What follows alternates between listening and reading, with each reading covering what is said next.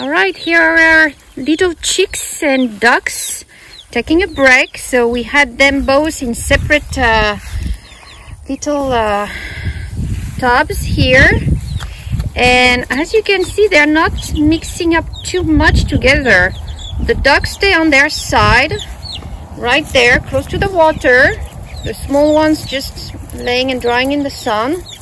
And the chicks are living their life away from the ducks yeah not mixing too much. As you can see we have a few well i'm not too sure if they are americanas or easter eggs but we have a few that are three at least three to four weeks old and two tiny more smaller ones here. So staying all close together.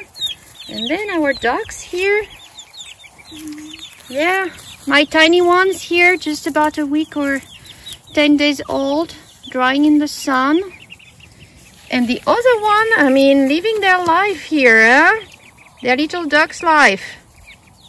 Eh? Yeah, trying to escape the little girl. I know, I know. She's messing around with you, duckies, huh?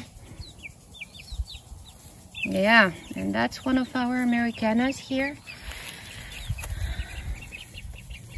Pretty quiet uh, yeah. Wonder, is that to be a rooster or not? Hmm. We'll see. Yeah? You're coming to check out what's going on here?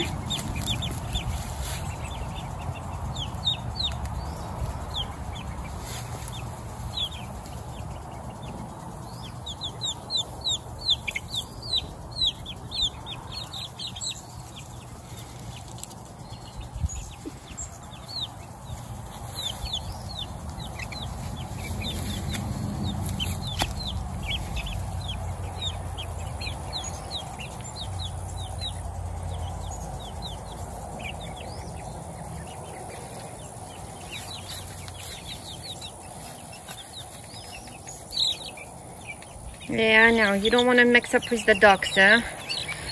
And you kind of prefer the shade, so we're gonna put you back here. There's too much sun, it's almost lunchtime, might be too hot for you, huh?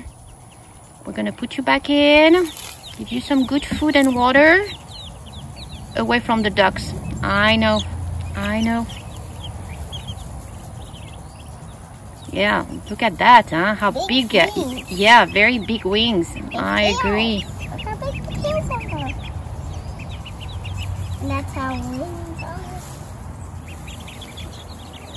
This one might be the rooster. You think it's the rooster? Yeah.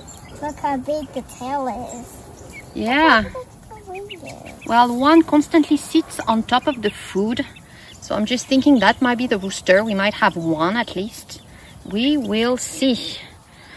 All right, that was the quick update on our uh, growing uh, poultry here. How is it going, my little Quan Quan?